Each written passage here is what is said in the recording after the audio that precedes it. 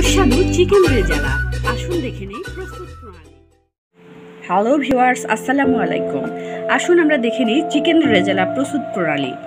Chicken rezala তৈরির জন্য আমি একটি এক কেজি ওজনের মুরগি ছোট ছোট করে টুকরো করে পরিষ্কার করে রেখেছি।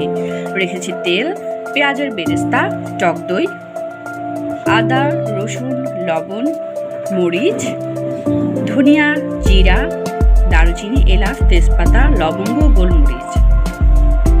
আমি যেহেতু এক কেজি নিয়েছি, আমি এক চামচ করে সব কিছু ইউজ করছি। আপনারা যদি আরও বেশি রান্না করেন, সেক্ষেত্রে আরও বেশি দিতে পারেন প্রয়োজন মতো এবং স্বাদ মতো। আমি একটি প্যানে তেল দিয়ে দিয়েছি। তেলের মধ্যে মশলাগুলো দিয়ে দিয়েছি এবং আদা, রসুন এবং পেঁয়াজ হালকা ভেজে নিয়েছি। এবার আমি এর মধ্যে গুঁড়ো মশলাগুলো আমি দিয়ে দিচ্ছি। মশলাগুলো দেওয়ার পরে একটু কষানো হলে আমি এখানে দিয়ে দিব মুরগিগুলো। মশলাগুলো দেখ, কষানো হয়ে যাওয়ার পরে আমি এর মধ্যে মুরগি টুকরোগুলো দিয়ে দিয়েছি। এখন আমি একটু নাড়াচাড়া করে এগুলো আমি কষানোর জন্য পাঁচ মিনিট ঢেকে রাখব। মুরগি কষানোর পর আমি এক কাপ গরম পানি দিয়ে দিয়েছি এবং গরম পানিতে মুরগিটা সেদ্ধ হয়ে গেছে, মাখা মাখা হয়ে গেছে।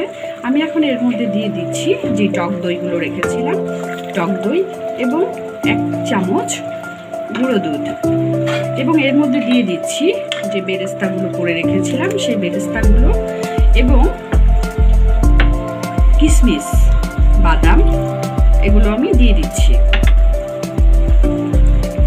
আর আমি যেহেতু নিজেরা খাওয়ার জন্য তৈরি করছি, আমি এখানে কেওড়া জাফরান এই জিনিসগুলো ইউজ করব না।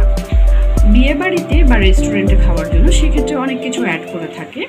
আমরা যেহেতু নিজেরা তৈরি করব, বাসায় খাব বাচ্চারা সহ, আমি সাধারণভাবেই তৈরি করছি এক্সট্রা কোনো মশলা দিচ্ছি না।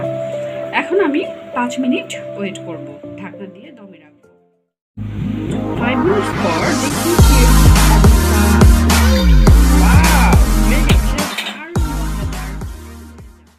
সুস্বাদু চিকেন রেজালা আসুন দেখে নেই প্রস্তুত প্রণালী।